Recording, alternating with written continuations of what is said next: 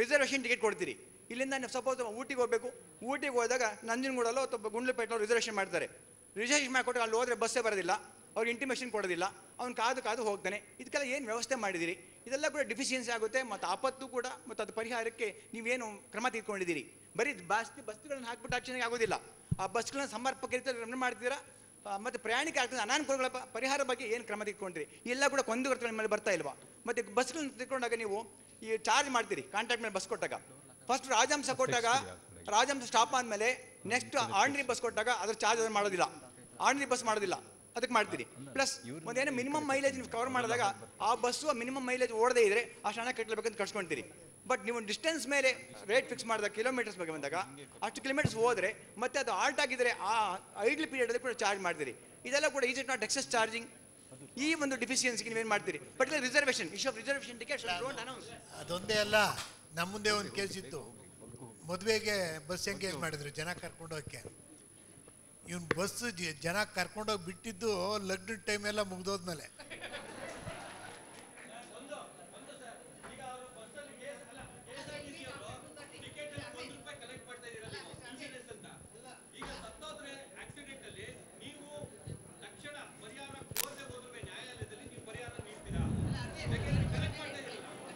Hello hello hello ಒಂದು announcement please please ದಯವಿಟ್ಟು.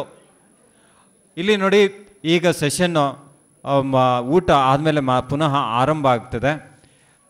ನೀವು ಚರ್ಚೆ ಮಾಡಿ ವ್ಯವಸ್ಥೆಯಲ್ಲಿ ಯಾವ್ಯಾವ ರೀತಿಯಾದಂಥ ನ್ಯೂನ್ಯತೆಗಳಿದೆ, ಅದನ್ನು ಗುರುತಿಸೋಣ. ಆಮೇಲೆ ಆ ನ್ಯೂನ್ಯತೆಗಳನ್ನು ಸರಿಪಡಿಸೋದಕ್ಕೆ ಅಥವಾ ನಿವಾರಿಸೋದಕ್ಕೆ ತಾವು ಏನು ಶಿಫಾರಸನ್ನು ಮಾಡ್ತೀರಿ, ಅದನ್ನು ಸಂಕ್ಷಿಪ್ತವಾಗಿ ತಾವು ದಯವಿಟ್ಟು ಹೇಳ್ರಿ. ಇದರಿಂದ ನಮಗೇನು ಅನುಕೂಲ ಆಗ್ತದೆ ಅಂತಂದರೆ, ನಾವು ಸರ್ಕಾರದ ಮುಂದೆ ಅಥವಾ ಶಾಸಕಾಂಗದ ಮುಂದೆ ಇದ್ರ ಬಗ್ಗೆ ಸೂಕ್ತ ತಿದ್ದುಪಡಿಯನ್ನು ಮಾಡಲಿಕ್ಕೆ ಅನುಕೂಲ ಆಗ್ತದೆ.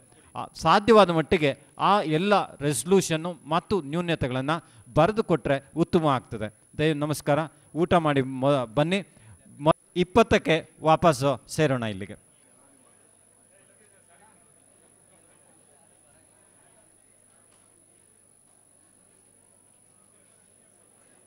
ತಮ್ಮ ಇಲಾಖೆಗೆ ಸಂಬಂಧಪಟ್ಟಂತೆ ಇರುವಂತಹ ನ್ಯೂನ್ಯತೆಗಳು ಏನು ಅನ್ನೋದು ಕೂಡ ಪ್ರಾಥಮಿಕ ಅರಿವಿದ್ದೇ ಇದೆ. ಇಲ್ಲಿ ಇವತ್ತಿನ ಮಟ್ಟಿಗೆ, ಅಂದರೆ ಈಗ ಒಂದು ಗಂಟೆ ಮಟ್ಟ ತಾವು ಸಮಾಜದ ಬಾಂಧವರು ಅಂತ ತಿಳ್ಕೋಬೇಕು. ಅಧಿಕಾರಿಗಳು ಅಂತ ನೀವು ದಯವಿಟ್ಟು ಭಾವಿಸಬಾರ್ದು. ಸಮಾಜದಲ್ಲಿ ಒಬ್ಬರಾಗಿ ಆ ಒಂದು ವ್ಯವಸ್ಥೆನಲ್ಲಿ ನೀವು ಏನು ಸಮಸ್ಯೆಗಳನ್ನು ಗುರುತಿಸಿದ್ದೀರಿ ಅಥವಾ ಲೋಪದೋಷಗಳನ್ನು ಗುರುತಿಸಿದ್ದೀರಿ? ದಯಮಾಡಿ ನೀವು ಹೇಳಿದರೆ. ಇದರಿಂದ ನಮಗೆ ಏನು ಅನುಕೂಲ ಆಗ್ತದೆ ಅಂತ ಅಂದರೆ, ಈ ಕಮ್ಮಟದ ಇಲ್ಲಿ ಕೇವಲ ಇಡೀ ಸಮ ಸ ಕಮ್ಮಟದಲ್ಲಿ ಭಾಗಿಯಾದಂತಹ ಎಲ್ಲ ವ್ಯಕ್ತಿಗಳು ಇಂದ ಹೊರಹೊಮ್ಮಿದಂತಹ ಮಾತುಗಳು, ಹೃದಯಾಳದ ಮಾತುಗಳು ಅಂತ ನಾವು ತಿಳಿದುಕೊಳ್ತೇವೆ ಹಾಗಾಗಿ ನೀವು ಮುಕ್ತವಾಗಿ ಮಾತನಾಡಬೇಕು. ಅದರ ಬಗ್ಗೆ ತಮ್ಮ ಸಲಹೆ ಸೂಚನೆಗಳನ್ನು ನಿಶ್ಚಿತವಾಗಿ ಕೊಡ್ತೀರಿ ಅನ್ನುವಂತಹ ದೃಢ ವಿಶ್ವಾಸ ನನ್ನದು. ಭಾಗಿಯಾಗಿರುವಂತಹ ನಿನ್ನೆಯಿಂದ ಇವತ್ತಿನವರೆಗೆ ಸಕ್ರಿಯವಾಗಿ ಮಾತನಾಡದೇ ಇದ್ದರೂ ಕೂಡ ನಮ್ಮ ಜೊತೆ ಒಡನಾಟ ಮಾಡಿಕೊಳ್ತಾ, ತಮ್ಮ ಅನಿಸಿಕೆಗಳನ್ನು ಪರೋಕ್ಷವಾಗಿ ಹೇಳ್ತಾ, ನಗ್ತಾ ನಮ್ಮ ಜೊತೆಗಿರುವಂತಹ ಜೆ ಎಸ್ ಪಾಟೀಲ್ರು ಯೋಗ ವೇದಿಕೆಗೆ ಬರಬೇಕು ಅಂತ ವಿನಮ್ರವಾಗಿ ವಿನಂತಿಸಿಕೊಳ್ತಾ ಇದ್ದೇನೆ.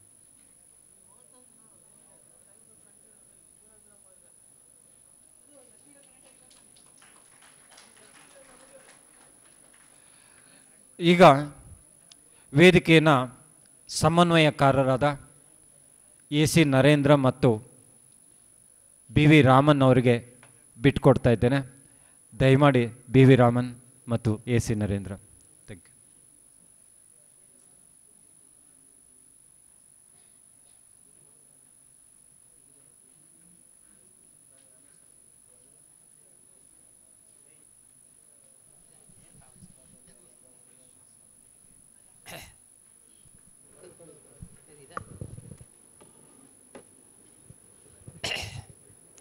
ಈ ಅಧಿವೇಶನದ ಸಮಯ ಸುಮಾರು ಯಾರ್ದಾರ್ದಾದರೂ ಒಂದು ತಕ್ಷಣ ಕೇಳಿ ಸೂಕ್ತ ಉತ್ತರವನ್ನು ಪಡೆಯೋದಕ್ಕೆ ನಾನು ಕೇಳ್ಕೊಳ್ತೇನೆ.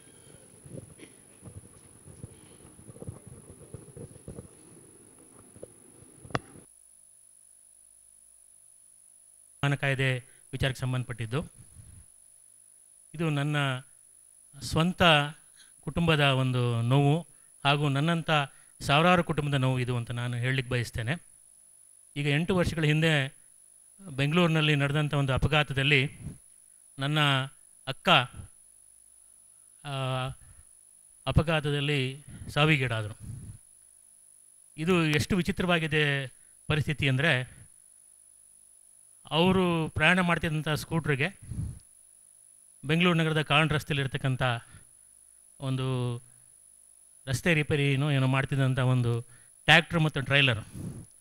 ಅವರು, ಆ, ಅಪಘಾತಕ್ಕೀಡಾಗಿ ನನ್ನ ಅಕ್ಕನ ಸುಮಾರು ಒಂದು ಇಪ್ಪತ್ತು ಅಡಿ ಡ್ರ್ಯಾಗ್ ಮಾಡಿ, ಅವರಿಗೆ ಪೆಲ್ವಿಕ್ ಬೋನ್ ಕಟ್ಟಾಗಿ ಇಪ್ಪತ್ತೊಂದು ದಿನ ಬೆಂಗಳೂರಿನ ಡಿ ಜಿ ಆಸ್ಪತ್ರೆಯಲ್ಲಿ ಚಿಕಿತ್ಸೆ ತಗೊಂಡು ನಂತರ ಹೃದಯ ಹೃದಯಾಪಘಾತದಿಂದ ನಮ್ಮ ಅಕ್ಕನ ನಾನು ಕಳ್ಕೊಬೇಕಾಗಿ ಬಂತು. ದುರದೃಷ್ಟವಶಾತ್ ಮೋಟಾರ್ ವಾಹನ ಕಾಯ್ದೆ ಅಡಿಯಲ್ಲಿ ನೀವೇನು ಅವರು ಟ್ಯಾಕ್ಟ್ರನಿಗೆ ಯಾವ ಉದ್ದೇಶಕ್ಕಾಗಿ ನೀವು ಅದನ್ನು ನೋಂದಣಿ ಮಾಡಿರ್ತೀರ? ಆ ನೋಂದಣಿ ಆದಂಥ ಟ್ಯಾಕ್ಟ್ರು ಒಬ್ಬರ ಹೆಸರಲ್ಲಿತ್ತು. ಆ ಟ್ರೈಲರ್ ಇನ್ನೊಬ್ಬರ ಹೆಸರಲ್ಲಿತ್ತು. ಅವರಿಬ್ಬರು ತಿಪ್ಟೂರಿನಲ್ಲಿ ಯಾವುದೋ ಅಗ್ರಿಕಲ್ಚರಲ್ ಪರ್ಪಸ್ಗೆ ಅದನ್ನು ತಗೊಂಡಿದ್ರು ಅಂತ ಕಾಣುತ್ತೆ. ಬೆಂಗಳೂರಿನಲ್ಲಿ ಆ ಉದ್ದೇಶಕ್ಕೆ ಅದನ್ನು ಉಪಯೋಗಿಸಂಗಿರಲಿಲ್ಲ. ಈ ಕಟ್ಟಡ ನಿರ್ಮಾಣ ಕಾರ್ಯಕ್ರಮದಲ್ಲಿ ಮತ್ತು ರಸ್ತೆ ನಿರ್ಮಾಣ ಕಾರ್ಯಕ್ರಮದಲ್ಲಿ ಈ ಟ್ಯಾಕ್ಟ್ರಿಗಳು ಮತ್ತು ಟ್ರೈಲರ್ ಉಪಯೋಗ ನಿರಂತರವಾಗಿ ನಡೀತಾ ಇದೆ. ದುರಾದೃಷ್ಟವಶಾತ್ ಆ ವಾಹನಗಳಿಗೆ ಯಾವುದೇ ರೀತಿಯಾದಂಥ ಇನ್ಶೂರೆನ್ಸ್ನ ಅವರು ನವೀಕರಿಸಿಲ್ಲ. ಬಹಳಾರು ವರ್ಷಗಳಿಂದ. ನಾವು ಸ್ವಲ್ಪ ಸುಸ್ಥಿತಿಲಿದ್ದು ನಮ್ಮ ಅಕ್ಕನ ಎಲ್ಲ ಔಷಧೋಪಚಾರ ಎಲ್ಲ ಮಾಡ್ಕೊಂಡ್ವಿ. ಆದರೆ ನಾವು ಉಳಿಸ್ಕೊಳ್ಳೋಕ್ಕಾಗಲಿಲ್ಲ ಇದಾದ ನಂತರ ಪ್ರಕರಣ ಬೆಂಗಳೂರಿನ ನ್ಯಾಯಾಲಯದಲ್ಲಿ ತೀರ್ಮಾನ ಆಯಿತು. ಸುಮಾರು ಮೂರು ಲಕ್ಷ ಎಂಬತ್ನಾಲ್ಕು ಸಾವಿರದಷ್ಟು ನಮಗೆ ಕಾಂಪೆನ್ಸೇಷನ್ನು ಅವಾರ್ಡ್ ಮಾಡಿದರು. ಆದರೆ ಆ ಅವಾರ್ಡನ್ನು ಪಡೆಯೋ ರೀತಿ ಹೇಗೆ ಅಂತ ಹೇಳಿದರೆ ಅವಾರ್ಡ್ ಪಡೆಯೋ ದಿನಗಳಲ್ಲಿ ಯಾಕಂದರೆ ಆ ಟ್ರ್ಯಾಕ್ಟರ್ನ ಮಾರಿದಂಥ ವ್ಯಕ್ತಿಗಳು ತಿಪ್ಟೂನಲ್ಲಿದ್ದವರು ಬೆಂಗಳೂರಿನಲ್ಲಿದ್ದಂಥ ಯಾರೋ ಒಬ್ಬ ಕಾಂಟ್ರಾಕ್ಟ್ರಿಗೆ ಅದನ್ನು ಕೊಟ್ಟಿದ್ದರು ಅವನು ಅವನ ಹೆಸರಿಗೆ ಅದನ್ನು ವರ್ಗಾವಣೆ ಮಾಡಿಕೊಂಡಿರಲಿಲ್ಲ. ಇದಾದ ಮೇಲೆ ಯಾರು ಒರಿಜಿನಲ್ ಓನರು ರೆಕಾರ್ಡ್ ಪ್ರಕಾರ ಇದೆ, ಅವರ ಮೇಲೆ ನಾವು ಪ್ರಕರಣ ದಾಖಲಿಸಿದ್ರಿಂದ ಆ ವ್ಯಕ್ತಿ ಅಂಥ ದಿನ ಬಂದಾಗ ತೀರ್ಪು ಬರೋಕ್ಕೆ ಮುಂಚೆನೇ ಆ ವ್ಯಕ್ತಿ ಮೃತ ಹೊಂದಿದ್ದ. ಆ ಅವನ ಇಬ್ಬರು ಮಕ್ಕಳಿಗೆ ಅದನ್ನು ಹುಡುಕಿ ಸರ್ವ್ ಮಾಡಬೇಕಾಗಿ ಬಂತು.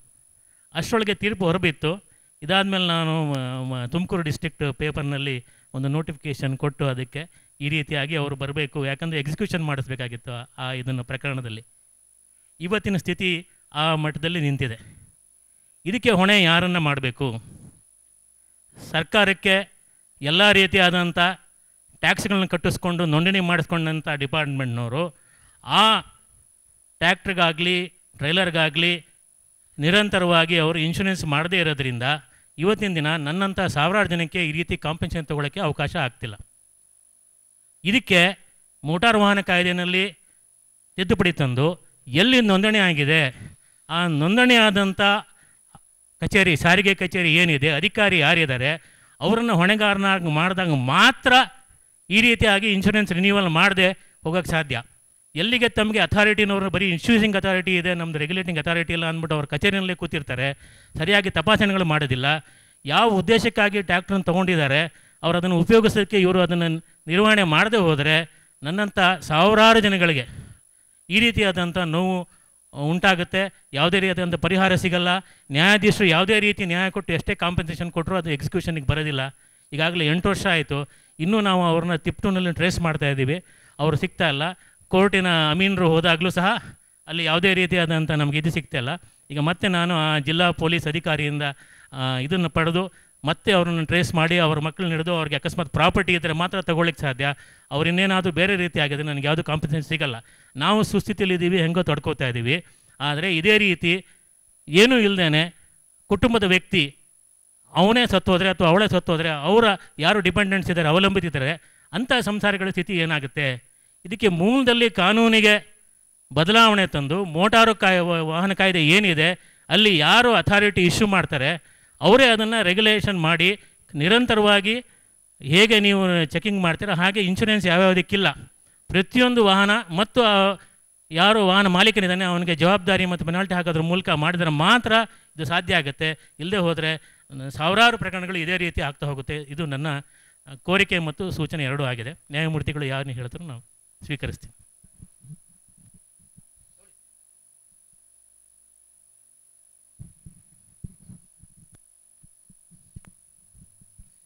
ಇಂತಹ ಸಮಸ್ಯೆ ಮೊದಲು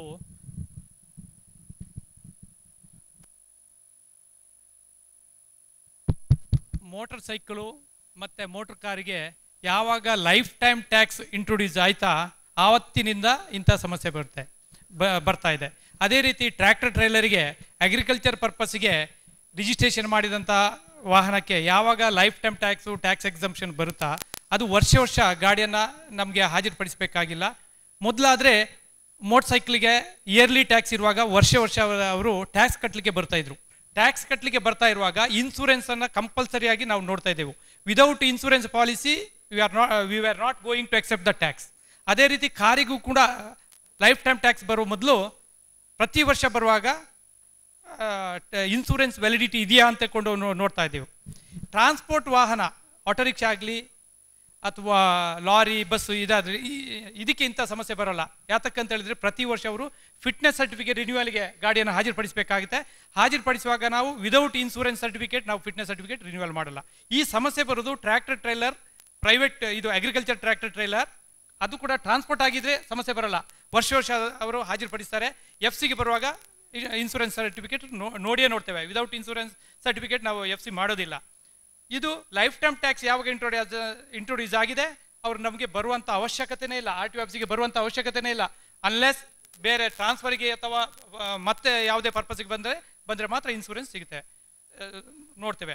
ಚೆಕಿಂಗ್ ಟೈಮ್ನಲ್ಲಿ ನಾವು ಖಂಡಿತ ಅದನ್ನು ಇನ್ಸೂರೆನ್ಸ್ ಇಲ್ಲದಿದ್ದರೆ ಕೇಸ್ ಬುಕ್ ಮಾಡ್ತೇವೆ, ಎಲ್ಲ ಇದು ಮಾಡ್ತೇವೆ. ಇನ್ವೇರಿಬ್ಲಿ ನಮ್ಮ ಬೆಂಗಳೂರಿನಲ್ಲಿ ಸಾಧಾರಣ ಕಡಿಮೆ ಅಂದರೆ ಒಂದು ಅರವತ್ತು, ಎಪ್ಪತ್ತು ಸಾವಿರ ವೆಹಿಕಲ್ ಇರುವುದರಲ್ಲಿ ಎಲ್ಲವನ್ನೂ ನಾವು ಚೆಕ್ ಮಾಡಿಕೊಂಡು ಇದು ಮಾಡಲಿಕ್ಕೆ ಪ್ರಾಕ್ಟಿಕಲಿ ನಾಟ್ ಪಾಸಿಬಲ್ ಯಾ ಮೂವತ್ತು, ಬೆಂಗಳೂರಲ್ಲಿ ಮೂವತ್ತೊಂದು ಲಕ್ಷ ಎಂಟೈರ್ ಕರ್ನಾ Karnataka ಸ್ಟೇಟ್ನಲ್ಲಿ about eighty seventy two seventy six lakhs vehicle ಇದೆ.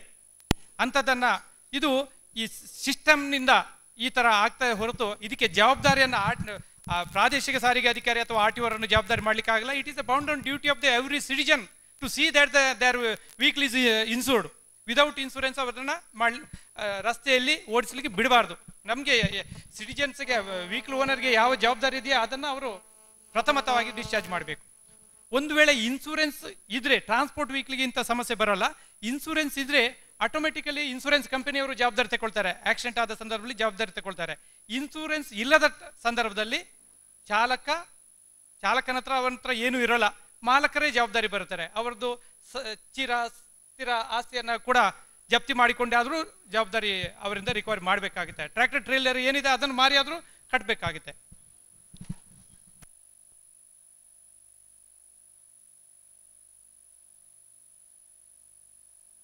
ಹಲೋ ಸರಿ ಪ್ರಶ್ನೆ ನಿಮಗೆ. ಈಗ ಭೀಮೇಶ್ ಅವರು ಹೇಳಿದ್ದು ಒಂದು ವಿಚಾರಕ್ಕೆ ನೀವು ಸ್ಪಂದಿಸಿದ್ರಿ. ಈಗ ನಿಮ್ಮ ಪ್ರಕಾರ ಈ ಲೈಫ್ ಟ್ಯಾಕ್ಸ್ ಸಿಸ್ಟಮ್ ಬಂದಿರೋದ್ರಿಂದ ಈಗ ನೀವು ಗಾಡಿಗಳು ವರ್ಷ ವರ್ಷ ನಿಮ್ಮ ಹತ್ರ ಬರೋದಿಲ್ಲ, ಅವುಗಳು ಯಾರ ಹತ್ರ ಇರ್ತವೋ, ಯಾರ ಹೆಸರಲ್ಲಿ ಇರ್ತವೋ ನೋಡ್ಲಿಕ್ಕೆ ಆಗೋದಿಲ್ಲ. ಅದರಿಂದ ನಿಮ್ಮ ನಿಮ್ಮ ಪ್ರಕಾರ ಮತ್ತೆ ಪುನಃ ಈ ವರ್ಷ ವರ್ಷ ಟ್ಯಾಕ್ಸ್ ಕಟ್ಟುವಂಥ ಸಿಸ್ಟಮ್ ಬಂದರೆ ಚೆನ್ನಾಗಿರ್ತದೇನು? ಒಂದು ವೇಳೆ ಹಾಗಿತ್ತು ಅಂದರೆ ಇಲ್ಲೊಂದು ರೆಸೊಲ್ಯೂಷನ್ ಮಾಡಿ ಆ ಪ್ರಕಾರ ತಿದ್ದುಪಡಿ ಮಾಡೋಕ್ಕೆ ಒಂದು ತೀರ್ಮಾನ ಮಾಡಲಿಕ್ಕೆ ಸರ್ಕಾರ ಈಗಾಗಲೇ ಜೀವಾವಧಿ ತೆರಿಗೆ ಅಂತ ಏನು ವಿಧಿಸಿದೆ, ಇದೊಂದು ಪ್ರೋಗ್ರೆಸಿವ್ ಸ್ಟೆಪ್ ಆಗಿದ್ದು ಇದನ್ನು ಹಿಂಪಡೆಯೋದ್ರಿಂದ ಸಾರ್ವಜನಿಕರಿಗಾಗಲಿ ಅಥವಾ ಸರ್ಕಾರಕ್ಕಾಗಲಿ ಏನೂ ಲಾಭ ಆಗೋದಿಲ್ಲ.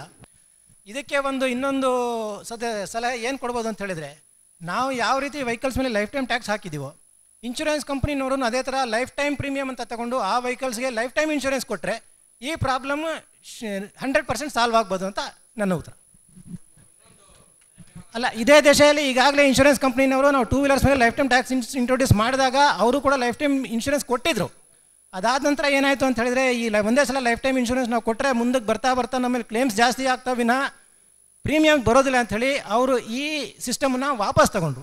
ಮತ್ತೆ ಇದ್ರ ಮೇಲೆ ಇದ್ರ ಮೇಲೆ ಚಿಂತನೆ ನಡೆದು ಯಾವ್ಯಾವ ವೆಹಿಕಲ್ಸ್ ಮೇಲೆ ಲೈಫ್ ಟೈಮ್ ಟ್ಯಾಕ್ಸ್ ಇದೆಯೋ ಆ ವೆಹಿಕಲ್ಗಳ ಮೇಲೆ ಮತ್ತೆ ಲೈಫ್ ಟೈಮ್ ಪ್ರೀಮಿಯಂ ತಗೊಂಡು ಇನ್ಶೂರೆನ್ಸ್ ಕೊಟ್ಟರೆ ಜನಸಾಮಾನ್ಯರಿಗೆ ಇದರಿಂದ ಭಾಳನೇ ಅನುಕೂಲ ಆಗುತ್ತೆ ಅಂಥೇಳಿ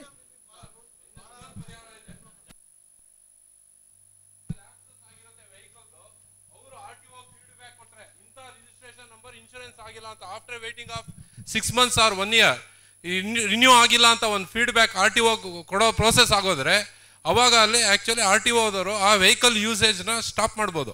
ಸೊ ಅದೊಂದು ಪರಿಹಾರ ಇದೆ. ಯಾಕೆಂದರೆ ಇನ್ಶೂರೆನ್ಸ್ನವ್ರು ಟ್ರ್ಯಾಕ್ ಇರುತ್ತೆ. ಯಾವುದೇ ಇನ್ಶೂರೆನ್ಸ್ ಕಂಪ್ನಿಲ್ಲ ಈ ವರ್ಷ ಈ ಇನ್ಶೂರೆನ್ಸ್ ಮಾಡಿಸಿದ್ರೆ ಮುಂದಿನ ವರ್ಷ ಇನ್ನೊಂದು ಇನ್ಶೂರೆನ್ಸ್ ಅವ್ರು ರಿನ್ಯೂ ಮಾಡಿದ್ರು ಆ ಟ್ರ್ಯಾಕ್ ಅಂತೂ ಇದ್ದೇ ಇರುತ್ತೆ ಟ್ರ್ಯಾಕ್ ರೆಕಾರ್ಡ್ ಹಿಸ್ಟ್ರಿ ಎಲ್ಲ ಟ್ರಾನ್ಸ್ಫರ್ ಆಗಿರುತ್ತೆ. ಸೊ ಅದರಿಂದ ಅವ್ನು ರಿನ್ಯೂ ಮಾಡದೆ ಹೋದರೆ, ಆ ಫೀಡ್ಬ್ಯಾಕ್ ಆರ್ ಟಿ ಒಗೆ ಹೋಗೋ ಸಿಸ್ಟಮ್ ಬಂದರೆ ಬಹುಶಃ ಈ ಸಮಸ್ಯೆ ಪರಿಹಾರ ಸಿಗುತ್ತೆ.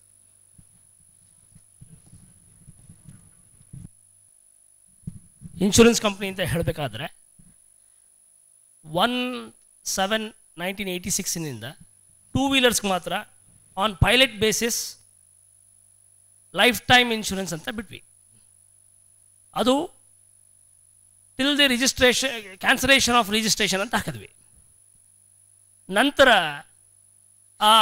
ಆರ್ ಆರ್ ಸಿ ಅಂತ ಏನು ಹೇಳ್ತಾರೆ ಆರ್ ಟಿ ಓದವರು ಅದು ಮಾಡಿಸಿದ ನಂತರ they have to get it renewed ಆ ಕೇಸಸ್ ಯಾವುದೂ ಆಗಲಿಲ್ಲ. So that pilot was a failure When we submitted a report on that government said the premium is on higher side I am talking about only for two wheelers two ವೀಲರ್ಸ್ಗೆ higher ಅಂದಾಗ ಇನ್ನು ಬೇರೆ class of ವೆಹಿಕಲ್ಸ್ಗೆ it will be very abnormal ಆದ್ದರಿಂದ practically it is not possible practically it is not possible to give a life time policy ನಾನು life time policy ಬಗ್ಗೆ ಮತ್ತೊಂದ್ರ ಬಗ್ಗೆ ಮಾತಾಡ್ತಿಲ್ಲ ಈಗ ಸಮಸ್ಯೆ ಸ್ಪಷ್ಟವಾಗಿದೆ. ನೀವು ಯಾವಾಗ ನೀವು ಸಾರಿಗೆ ಇಲಾಖೆಯಿಂದ ಅದಕ್ಕೆ ಅನುಮತಿ ಕೊಡ್ತಾರೆ ರಸ್ತೆ ಮೇಲೆ ಓಡಾಡೋದಕ್ಕೆ, ರಸ್ತೆ ಮೇಲೆ ಆಗ್ತಕ್ಕಂಥ ಎಲ್ಲ ವಿಚಾರಗಳನ್ನು ತಪಾಸಣೆ ಮಾಡೋದ್ರಲ್ಲೂ ನೀವು ಅಧಿಕಾರಿಗಳು ಕಡಿಮೆ ಇದ್ದಾರೆ, ಸ್ಟಾಫ್ ಇಲ್ಲ ಅಂತ ಹೇಳಿ ನುಡಿಸ್ಕೋಬಾರ್ದು ಈ ಹೊಣೆಗಾರಿಕೆ ಸಾರಿಗೆ ಇಲಾಖೆ ಅಧಿಕಾರಿ ಮೇಲೆ ಹಾಕಿದಾಗ ಮಾತ್ರ ಈ ರೀತಿ ಯಾರ್ಯಾರು ಇನ್ಶೂರೆನ್ಸ್ ಮಾಡದೆ ತಪ್ಪಿಸ್ಕೊಂಡು ಓಡಾಡ್ತಾರೆ ಅದು ಸಾಧ್ಯ ಆಗುತ್ತೆ. ಇಲ್ಲದೆ ಹೋದರೆ ಇದು ನಿರಂತರವಾಗಿ ಹಿಂಗೆ ನಡೀತಾನೆ ಇರುತ್ತೆ. ನಾವು ನೋವುಗಳು ಅನುಭವಿಸ್ಬೇಕು, ಅನುಭವಿಸ್ತಾನೆ ಇರ್ತೀವಿ. ನ್ಯಾಯಾಲಯದವರು ನ್ಯಾಯಾಲಯದಲ್ಲಿ ತೀರ್ಪು ಕೊಟ್ಬಿಟ್ಟು ಅವ್ರು ಕೂತ್ಕೊಂತಾರೆ ಎಕ್ಸಿಕ್ಯೂಷನ್ ನೀವು ಮಾಡಿಸ್ಕೊಳ್ಳಿ ನೀವು ಅಂತ ಹೇಳಿ. ಪರಿಹಾರ ಎಲ್ಲಿ ಸಿಕ್ತು? ಮೋಟಾರ್ ವಾಹನ ಕಾಯ್ದೆಯಲ್ಲಿ ನೀವು ಲೈಫ್ ಟೈಮ್ ಟ್ಯಾಕ್ಸ್ ಮಾಡಲಿಕ್ಕೆ ಪ್ರಾವಿಜನ್ ಮಾಡಿಕೊಟ್ರಿ ಯಾವಾಗ ಲೈಫ್ ಟೈಮ್ ಟ್ಯಾಕ್ಸ್ ಪೇ ಮಾಡಿ provision ಮಾಡಿಕೊಂಡ್ರಿ it is again subjected to periodical renewal of the insurance then only life time is valid ಅಂತ ಮಾಡಿ. ನಾಳೆ ಬೆಳಗ್ಗೆನೇ ಎಲ್ಲರೂ ಬಂದು ಪ್ರತಿ ವರ್ಷ ನಿಮಗೆ ಅದನ್ನು ಸಲ್ಲಿಸ್ತಾರೆ. ಇಲ್ಲರೂ ಅದು ಮಾಡೋದಿಲ್ಲ ನೀವು. ನಿಮಗೇನು ದುಡ್ಡು ಕಟ್ಟಿಸ್ಕೊತೀರಾ? ಇನ್ನು ಹದಿನೈದು ವರ್ಷ ನಿಮಗೆ ಅವರು ಏನಾದರೂ ನಿಮ್ಗೇನು ಆಗಬೇಕು? ನಿಮ್ಗೆ ಸರ್ಕಾರಿ ಸಂಬಳ ಬರುತ್ತೆ. ಸಾಯೋರು ಸಾಯ್ತಾನೆ ಇರ್ತಾರೆ ಯಾವುದೇ ರೀತಿ ಕಾಂಪನ್ಸೇಷನ್ ಸಿಗೋದೂ ಇಲ್ಲ. ಇದು ಸತ್ಯ ಮಾತ್ರ. ಇದೇ ಗಳಿಕೆ ನಿಮ್ಮನೆಗಳಲ್ಲಾಗಿದ್ದರೆ ಏನು ಮಾಡ್ತಿದ್ರಿ ಹೇಳಿ, ದಯವಿಟ್ಟು. ಪಾಲಿಸಿ ಲ್ಯಾಪ್ಸ್ ಆದಾಗ ಅದನ್ನು ತಾವು ಆರ್ ಟಿ ಒಗೆ ತಿಳಿಸುವಂಥ ಆ ಸಿಚುವೇಶನನ್ನು ಏನಾದರೂ ಮಾಡ್ಬೋದಾ ಅಂತ ಹೇಳುವಂಥದ್ದು ಒಂದು ಪ್ರಶ್ನೆ ಇವಾಗ. ಇನ್ಶೂರೆನ್ಸ್ ಒಂದು ವರ್ಷಕ್ಕೆ ಮಾಡಿರ್ತಾರೆ. ಪಾಲಿಸಿ ಲ್ಯಾಪ್ಸ್ ಆಗಿರ್ತದೆ. That we can give a lapse ಆದಾಗ ಅದು ಒಂದು. ಅಟ್ಲೀಸ್ಟ್ ಅವ್ರ ದೃಷ್ಟಿಗೆ ತಂದ್ರೆ. ಸ್ಪೆಸಿಫಿಕ್ ಆಗಿ ಅವ್ರ ಇನ್ಸ್ಪೆಕ್ಷನ್ಗೋ ಏನಾದರೂ ಒಂದು ಮಾಡೋಕ್ಕೆ ಅವಕಾಶ ಆಗ್ತದೇನೋ ಎವ್ರಿ ಪಾಲಿಸಿಗೆ ಒನ್ಸ್